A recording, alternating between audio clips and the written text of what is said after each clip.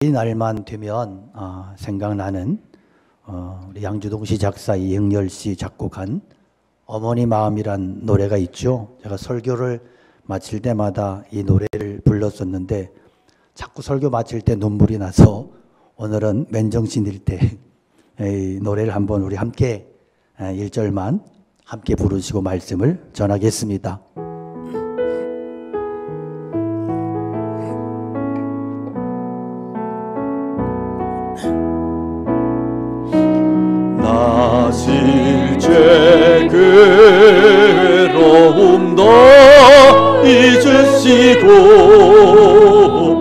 길을 째 밤낮으로 애쓰는 마음. 진자리 마른 자리 가라니시며 손발이 다닳도 고생하시네 하늘 아래 그 무엇이 널 따리요.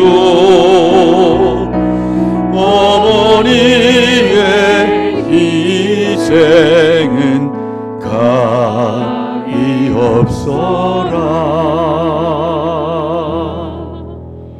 네, 오늘은 어버이날이면서 예, 어버이 주일입니다. 하나님께서 우리 모두에게 부모님 주셔서 부모와 자녀의 관계를 맺게 해주셨습니다. 자식 없는 부부는 있지만 부모 없는 자식은 없습니다. 이제 우리들의 부모님을 기억하면서 하나님께서 원하시는 기뻐하시는 효에 대한 말씀을 함께 나누기 원합니다. 어머니와 단둘이 사는 아들이 있었는데 어느 날 아들이 외출 나갔다가 교통사고를 당해서 양쪽 시력을 잃어버리고 말았습니다. 그 이후로 아들은 절망 가운데 빠져 살면서 대인기피증에 우울감에 시달리고 있습니다. 그 모습을 바라보는 어미의 심정은 이루 말할 수가 없죠. 어느 날이 아들에게 기쁜 소식이 전해집니다. 한쪽 눈을 이식할 한쪽 눈을 구했다는 거예요.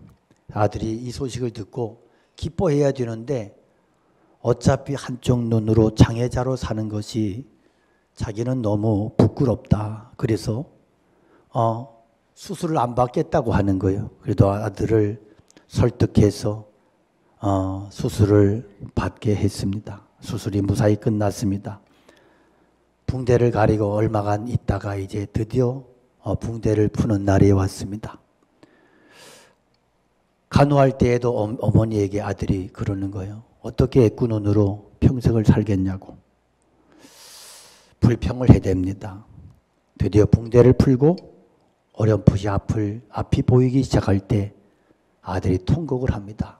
어머니의 한쪽 눈이 없거든요. 어머니가 그렇게 이야기합니다. 미안하다. 내가 두 눈 다 너에게 주고 싶었는데 내가 두 눈 다 너에게 주면 내가 또 너의 짐이 되니까 그렇게 못했다. 여러분, 이것이 어미의 심정이죠. 그래서 옛말에 내리사랑은 있어도 지사랑은 없다 했습니다. 자식이 부모를 아무리 사랑한다 해도 부모의 사랑에 비할 수가 없습니다. 그런데 어떻게 보면 이 땅의 모든 사람들은 하늘에 계신 하늘 아버지로부터 내리 사랑을 받은 사람들입니다. 하나님 세상을 이처럼 사랑하사 독생자를 주셨으니 이는 저를 믿는 자마다 멸망치 않고 영생을 얻게 하려 하심이라. 우리는 하나님의 내리 사랑받은 사람들이고 그리고 이 내리 하나님의 내리 사랑을 이 세상 속에서 이 세상에서 드러내시는 분들이 바로 부모님입니다.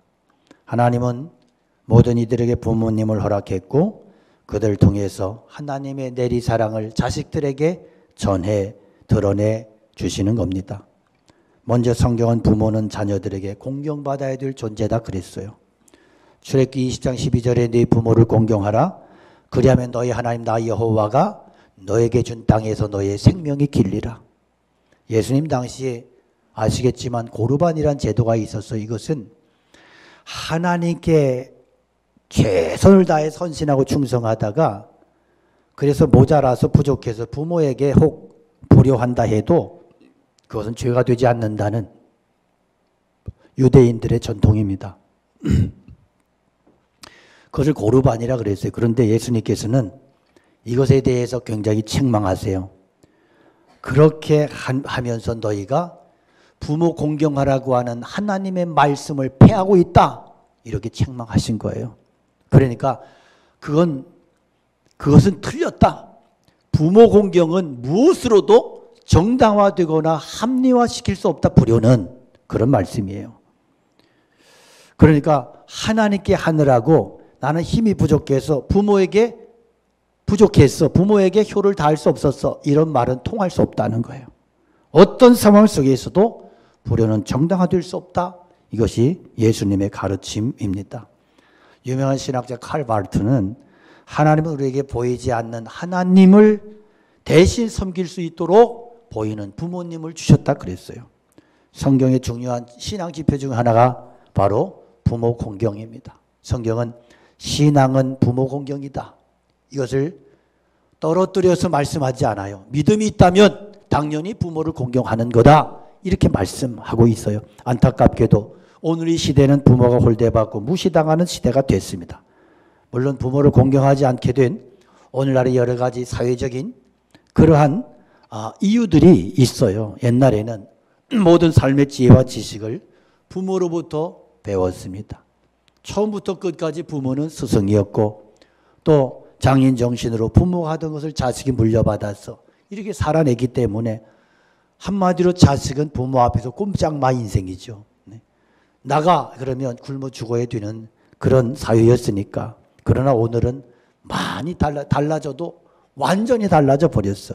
지식은 급증하고 사회는 급변하고 모든 지식을 밖에서 배워오고 또 자기들이 본인 스스로 터득을 하고 부모들이 따라갈 수가 없고 늙은 부모들은 오히려 부모들이 자식들한테 배워야 되고 자식들이 신세를 져야 되는 상황이 됐어요. 여러분 뭐 스마트폰을 사용하고 포인트를 적립하고 기차표 예약하고 인터넷 뱅킹을 하고 뭐 여러 가지 완전히 무시당하잖아요. 애들이 그러죠. 아이고 그것도 못해 짜증나 이러면서 큰 선심 쓰고 해주면 그저 그냥 거지가 밥 벌어 먹듯이 이런 세상이 됐단 말이요. 애들이 친구를 만나면 어릴 때는 그래 엄마한테 혼났어.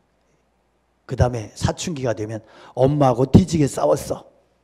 청년이 되면 오늘 엄마 뒤지 혼내줬어. 그런 다음에 세상이 그래 그렇게 에, 그런 세상이 됐어요. 기술도 그래 옛날에는 아버지로부터 목공일을 배워 목수가 되고 뭐 농사 배워 농부 되고 생업을 부모에게 의존하고 살았는데 요즘은 경우가 많이 달라졌어요. 네.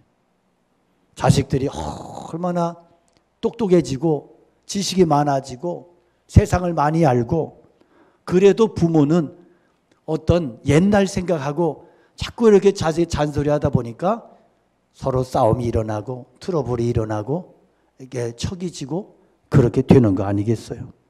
에. 그래서 솔직히 연세 높으신 부모님 말씀에 순종한다는 거 쉽지 않아요. 또 현실과 이치의 시대에 뒤떨어진 이야기를 하면 정말로 수용하기가 쉽지 않을 거예요. 그래서 어버이날에 부모들이 제일 많이 상처받는 말이 자식들로부터 도대체 아버지는 말이 안 통해 그 말이래요. 그런데 우리가 부모님 공경할 때 부모님의 품행이나 지식을 수미양가로 평가하고 거기에 따라서 비례해서 순종할 수 있는 게 아니에요. 성경은 그렇게 절대 말씀하지 않아요. 부모 공경은 뭐다? 하나님의 명령. 공경의 의미는 소중히 여기고 높은 가치를 둔다는 거예요. 사람들이 사람들마다 소중하게 가치 있게 여기는 게 참 다양해요. 요즘은 부모보다 더 가치 있게 여기는 게 있어요. 뭐죠? 개와 고양이, 예, 반려동물 그러죠.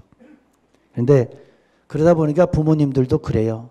나도 아들놈보다 개가 더 좋다.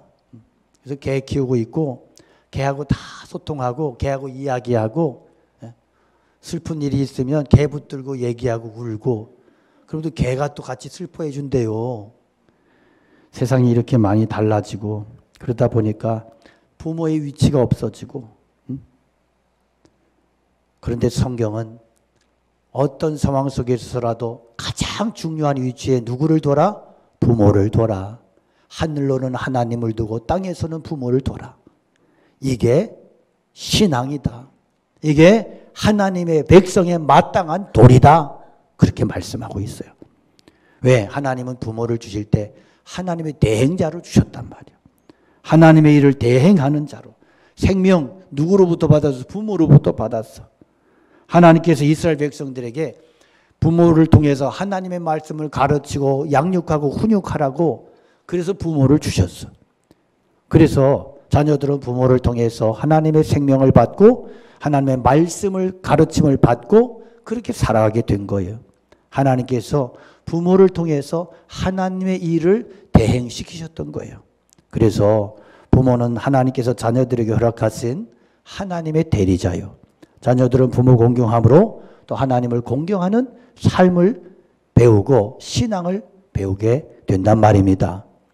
자, 또 부모에 대한 공경은 하나님의 백성들이 지켜야 할 거룩한 일입니다. 레위기 14장에 보면 무슨 이야기가 있냐면 너희는 거룩하라 나 여호와 하나님이 너희 하나님이 거룩합니다. 그렇게 말씀하고 나서 거룩함을 이루는 첫 번째 항목이 뭐냐 하면 부모를 경외하래요. 부모를 경외하고 나의 안식일을 지켜라. 그랬어요.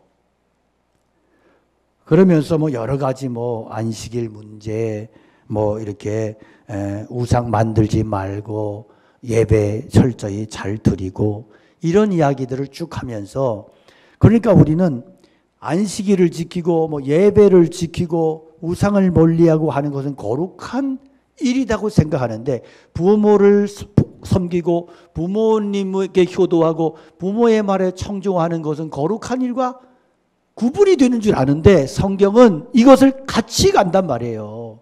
그러니까 내가 부모를 거역하면 이것은 거룩에서 실패하는 거야. 부모를 무시하면 나는 하나님을 무시하는 것이고 말씀을 무시하는 것이고 내가 신앙에서 멀어지는 것이다. 이것이 성경의 가르침이란 말이에요.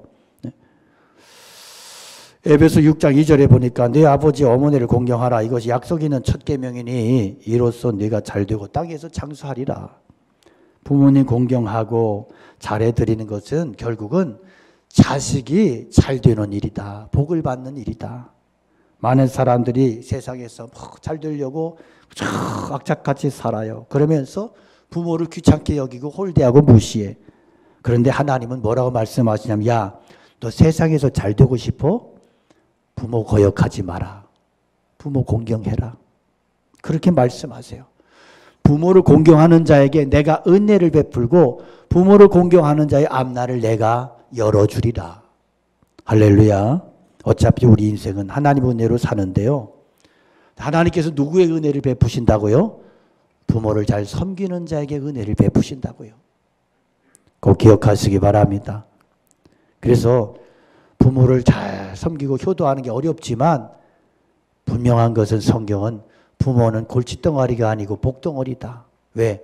부모를 잘 섬길 때 하늘의 복이 임하고 하나님께서 그에게 은혜를 베푸시고 그의 앞길을 열어주신다고 말씀하시니까요. 여러분, 믿음이 있다면 이 말씀을 잘 들으시기 바랍니다. 그래서 부모 공경은 세상과 구별되는 거룩한 삶의 모습인 거예요. 오늘 본문에 또한 어, 하나님은 부모를 자녀에게 말씀하는 존재로 주셨단 말이에요. 너를 낳은 아비에게 청종하고 청종이 뭐예요? 듣고 순종하는 거죠. 그러니까 자녀는 부모의 말을 듣고 당연히 순종하는 존재로 어, 그렇게 어, 살아가야 된다. 부모가 젊고 능력이 있을 때는 뭐 부모가 힘이 있을 때는 어, 잘 따라요. 왜냐하면 힘에서 밀리니까 어, 안 따르면 맞으니까 그런데 힘이 점점 점점 생기면 나중에 역전 현상이 일어나. 그래서 그 다음에는 어릴 때는 혼냈던 혼났던 그것을 상처니 뭐니 이러면서 커가지고는 막 부모의 부모를 혼을 내. 예. 이런 상황이 오늘날의 이 시대의 상황 현상이요. 그런데 성경이 경고해요. 그러지 마라. 악한 것이다. 신명기 27장 16절에 그 부모를 경홀히 여기는 자는 저주를 받을 것이라 할 것이요 모든 백성은 아멘 할지니라. 그래서 이스라엘 공동체는 앞에서 부모를 경홀히 여기는 자는 저주를 받을 것이라 이렇게 하면 여러분은 뭘 했어요? 아멘 그렇게 대답을 하는 거예요. 그렇게 해서 공동체 안에서 불효의 그 모든 씨앗을 제거했던 거예요. 그러니까 부모는 항상 존중받아야 되는 위치에 있어야 되고 존중을 받아야 된다. 이건 절대 명령이고 신앙이다. 이렇게 말씀하신 거예요. 아, 남편을 먼저 보낸 한 할머니 이야기입니다. 이분이 아들, 며느리, 손자와 살고 있는데 손자란 놈이 너무 드세 빠져. 말도 안 들어. 이 놈을 보다가 며느리는 직장 가고 아들 직장 가고 며느리를 아, 이 손주를 에, 이 시어머니가 할머니가 보, 보는 거예요. 그런데 여러분 솔직히 직장 다니는 게 쉬워, 애 키우는 게 쉬워. 직장이 훨씬 쉬워요. 예. 그러니까 며느리들 직접 혹시라도 며느리들 직장 다니는 며느리들 제발 시어머니 앞에서 큰 소리 치고 잘난 체좀 하지 말아요. 애 피해서 도망친 거잖아. 손, 애를 보다가 손가락을 문을 찡겨 가지고 손을, 손이 찢어진 거예요. 저녁에 와서 보니까 애가 붕대 감고 있거든. 엄마, 이거 왜 그렇게, 뭐, 왜 이렇게 된 거야? 막. 아, 내가 잠깐 한눈 파는 사이 이 녀석이 놀다가 문을 닫으면서 손이 찡겨서 손이 이렇게 터졌다. 다짜고짜 시어머니를 쥐어 박은 거예요. 어? 애도 잘 못 보면서. 시어머니 얼마나 속상해. 죽고 싶은 거예요. 너무 서러워가지고 집을 나왔어. 아파트 앞에서 쭈그리고 앉아가지고 누군가를 기다리는 거예요. 누구 기다려? 아들 오면 고지, 고지르려고. 그래서 이제 아들이 오, 이제 오네? 와서 어머니 왜 나오고 계세요? 자초지종을 얘기해 사실은 내가 애를 보다가 잠깐 어떻게 어, 다른 일 하는데 애가 자기 혼자 문에 손가락 찧어가지고 터졌는데 애 엄마가 들어오더니 다짜고짜 나를 쥐어박았다. 내가 죽고 싶다. 아들이 하는 말이 에이구 맞을 짓을 했네. 그러고 들어가더래.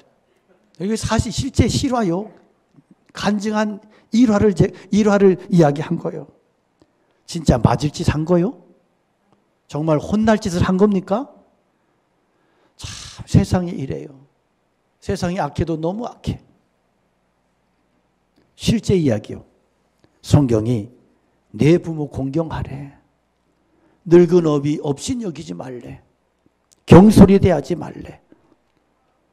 내 부모가 돈이 있고 좀 이러면 그러면 경히 여기지 못하더라. 왜? 돈의 위력이 있잖아. 돈줄의 위력. 그러니까 막 그 돈 뺏어가려고 매주 주말마다가 가지고 어머니 어머니 어떻게 건강하세요? 아유 오래 사셔야 될 텐데 속으로는 빨리 죽어라 이러면서 재산이 들어오기까지 수단 방법 가리지 않고 최선을 다해서 재산이 내 손에 넘어오는 그날로부터 끝장나는 거예요. 그러니까 노인분들이 막 이를 악물고 그거 지키잖아. 내가 추나 봐라, 추나 봐라. 비극도 이런 비극이 없어. 너무 슬픈 얘기요. 내 성경은 묻지도 말고 따지지도 말고 공경해라, 청종해라, 존중히 여겨라. 여러분 이럴 수 있으면 얼마나 좋겠어요. 응? 이것이 성경이 가르치며 하나님의 하나님이 기뻐하시는 효도란 말이에요. 잠언에 보면 지혜로운 아들은 아비를 즐겁게 하여도 미련한 아들은 어미를 업신 여긴다고. 업신 여기셨습니까? 미련한 곰탱이들이요. 공경이라고 하는 단어는 카베드라는 단어입니다. 가치 있게 여긴다, 존귀하게 여긴다, 무겁게 여긴다 그런 뜻이거든요. 여러분 측은지심은 효가 아니요. 부모는 공경의 대상이지 공격의 대상이 아니요. 또 하나님은 부모를 즐겁게 해드림으로 공경할 것을 말씀하세요. 25절 네 부모를 즐겁게 하며 너 낳은 어미를 기쁘게 하라. 하나님 믿는 자녀들의 공통된 과제는 어떻게 하면 부모님을 기쁘시게 드릴까 하는 거예요. 여러분 우리의 정말 우리의 기도 제목이 될 수 있으면 예, 좋겠습니다. 우리가 그렇게 기도할 수 있기를 축복합니다. 미국의 초대 대통령 조지 워싱턴은요. 소년 때 꿈이 뭐냐 하면 항해사요. 1등 항해사. 잘 준비했어요. 잘 준비하고 이제 청년이 돼서 어, 아주 훌륭한 실력을 갖춘 젊은이로 성장해서 짐을 꾸려서 이렇게 에, 짐을 꾸려가지고 이제 떠나려고 배에다 이제 이렇게 짐을 옮기는 어머니가 그걸 바라보는 어미 마음이 찢어져. 그때만 해도 배는 좀 위험한 부분도 있잖아. 그러니까 이 자식을 떠나보내 언제 볼 수 있을까? 돌아오기나 할까? 이런 생각이 막 망가지가 이제 가슴에 스치는 거예요. 그래서 이 어머니가 신앙이 있으니까 아, 워싱턴을 붙들고 우리 기도하자. 기도를 하는데 뭐 기도가 제대로 됩니까? 눈물, 콧물이 뒤범벅되고 그러니까 신앙이 없는 아들 같으면 엄마 왜 이렇게 좋은 날 푼수를 떠냐고 난리를 쳤을 수도 있는데 이 워싱턴은 효자야. 어머니가 너무 마음이 아픈 거야. 그래서 기도, 기도하면서 자기가 같이 눈물 흘리고 생각한 거야. 내가 이렇게까지 어미, 어미, 어머니 마음을 아프게 하면서 이렇게까지 하면서 내가 성공한들 뭐가 그렇게 기쁠까. 그래서 배에서부터 자기 짐을 다시 내렸어. 그리고 어머니 걱정 마세요. 제가 어머니 옆에 있을게요. 그러고 남았어. 그리고 나서 이분이 대통령이 된 거예요. 음. 그리고 나서 후배, 후대 젊은이들에게 말하기를 부모의 눈에서 눈물 흘리지 않도록 해라. 부모에게 눈물 흘리게 하고 부모의 가슴에 못 박는 사람 치고 잘 되는 사람이 없다. 부모를 기쁘게 해드릴 때 하나님의 축복이 이루어진다. 나를 봐라. 그랬어요. 나를 봐라. 부모 기쁘게 하는 게 내 기쁨이고 하나님 기쁘시게 하는 일이요. 그럼 뭘로 부모를 기쁘게 할까? 오늘 24절에 보면 의인의 아비는 크게 즐거울 것이요. 지혜로운 자식을 낳은 아, 자는 그로 말미암아 즐거울 것이다. 우리가 의롭게 살고 진실하게 정직하게 살고 지혜롭게 세상 속에서 믿음을 지켜내며 그렇게 성령의 지혜로 살아가면 그것이 뭐다? 효도가 되더라. 네, 효도가 되더라.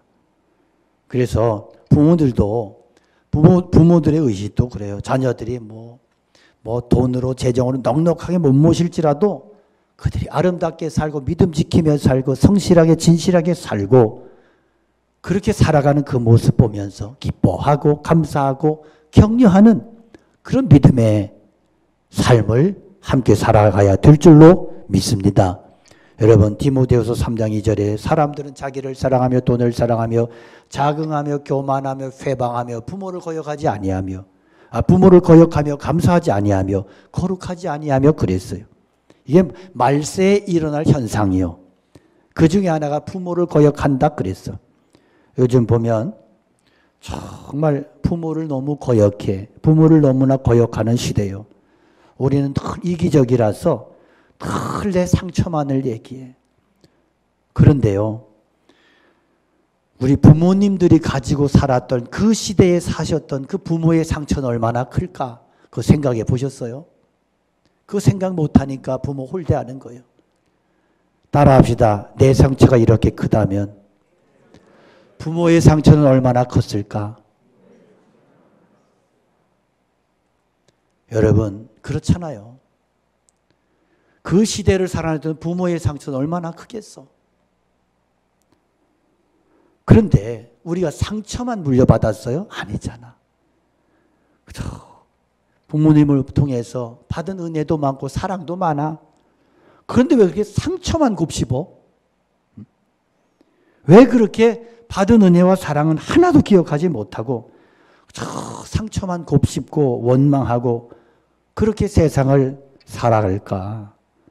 받은 상처보다 받은 은혜도 크지 않습니까? 여러분? 네? 여러분 어릴 때 밥, 밥 얻어 먹을 때 공짜로 얻어 먹었어요? 한 끼에 뭐 얼마씩 그러니까 또 아이고 어릴 때 얻어먹은 그 밥을 누가 돈 주고 사 먹습니까? 이딴 소리 하지 말고 정말로 그 시대를 보면요. 내가 열의 상처를 받고 살았다면 우리 부모님은 백의 천의 상처를 받고 견디며 세상 사신 거예요. 그것도 생각하셔야지. 그 열악한 환경 속에서 우리 키워냈잖아. 전 설교 준비할 때마다 5월달이 되면 괴로워요. 참, 제가 불효자식이다. 참, 내 안에 그런 안타까움이 있어요. 제가 어릴 때 나도 저도 부모님이 좀 돈 많은 부자였으면 얼마나 좋겠나. 그런 생각 다 하고 살았잖아. 제가 바로 옆집에 내면 양조장집 아들이요. 옛날에 막걸리는요, 그냥 물 섞어서 팔았어요. 그래서 모내기 철이 되면 막걸리가 막 몇 차씩 나가잖아. 그 동네 양조장이 하나밖에 없으니까 막 눈코 뜰 새 없이 막걸리를 퍼날려는데 막걸리를 아무리 준비를 많이 해도 모자란 거야. 그럴 때 뭐 해? 물 타는 거야. 그럴 때 막 양동이에다 물을 갖다 막 부어. 큰 막걸리 통이 막 겁나 커요. 그냥 뭐막 갖다 막 꼬챙이로 휘저가지고 갖다 주면 그러면 모내기 하는 사람들이 그래요. 아유, 이 자식도 물 탔네. 벌써 막걸리 물 타면 맛을 알잖아. 막걸리 드시는 분들은. 그래 돈을 많이 버는 거 그러니까 걔는 맨날 하얀 쌀밥에 계란 후라이를 착 올려가지고 벤또를 사오는 거야. 멸치 볶아가지고 막, 아, 그, 그, 그 시대에 막 소세지 이런 걸 싸오는 거야. 우리 소세지 소풍 때도 못 먹는데. 그래, 얼마나 부러워. 그러니까 제가, 그런데 철이 들고 나니까요, 어, 얼마나 제가 마음이 아픈지, 저희 아버님이 교회 장로님이잖아요. 그런데, 집에서는 낡은 옷, 헌 옷만 입고 사셔. 그늘 옷이 여기가 발에 웃긴 옷을 어, 입고 사셨어요. 그런데 늘 당당한 척 하시는 거야. 얼마나 이게 당당한 척 하시는지 몰라. 속으로 얼마나 자존심이 상했고 괴로우셨을까. 철 들고 나니까 5월 되면 마음이 많이 허전하고 아파요. 저희 어머님은 자식들 때문에 정말 가난하게 사셨어요. 인내로 사시고 인구로 사시고 그렇게 사셨는데 이제 주님 나라 가셨잖아요. 제가 더 이상 효도할 수가 없잖아. 그래서 그 뭐지요? 보릿고개라는 그 노래를 제가 못 불러요. 5월 달에. 특히나. 그분의 어머니 생각이 나는 거예요. 정말 배가 고파서 냉수를 벌컥벌컥 마시고 그 허기를 견디시고 도배지 풀에다가 김치 국물 부어서 마시고 나는 배부르다고 밥 남겨서 자식들에게 물려주시고 그런 어머니 그 어머니 제가 더 이상 효도할 수가 없잖아. 여러분 자식이 아무리 부모에게 효도 안될 자식 사랑하는 부모의 마음을 어떻게 다 헤아리고 갚을 수 있겠어요? 부모님은 공경 받으셔야 돼요. 여러분, 부모님 우습게 여기지 마시고, 가볍게 여기지 마시고, 부모님 말씀 헛되이 듣지 마시고, 무시하지 마십시오. 부모님을 귀히 여기고, 그 말씀 청중하고, 부모의 기쁨 되는 존재가 다 되시기 바랍니다. 사람이 무엇으로 심든지 그대로 거두리라. 주님, 성경 말씀입니다. 효를 부린 자, 효를 거둘 것이고, 그가 하늘의 상급 받을 것입니다. 자녀가 부모 공경하는 것은 자녀의 삶을 거룩하게 하고 하늘의 복을 받게 하는 통로가 됩니다. 그러니 부모님들도 또 잘 하셔야죠. 막 하면 안 되고 자녀들이 공경할 만한 삶을 또 살아내는 지혜도 필요합니다. 그래서 이렇게 하면 자식이 서운하겠지. 이렇게 하면 자식이 힘들겠지. 그렇게 기도하면서 또 자식을 효자 만들어 주시고 자식들은 부모에게 효를 다하시고 그래서 우리의 가정 가정들이 정말로 하나님 기뻐하시는 정말로 주님이 원하시는 그러한 자녀들로 가정들로 하늘의 신령한 축복을 또 이 땅 위에서 하나님께서 부으시는 그 은혜와 축복을 풍성히 누리는 그런 가정들 다 되시기를 주님의 이름으로 축원합니다. 말씀 기억하면서 우리 함께 찬양 올려드리겠습니다.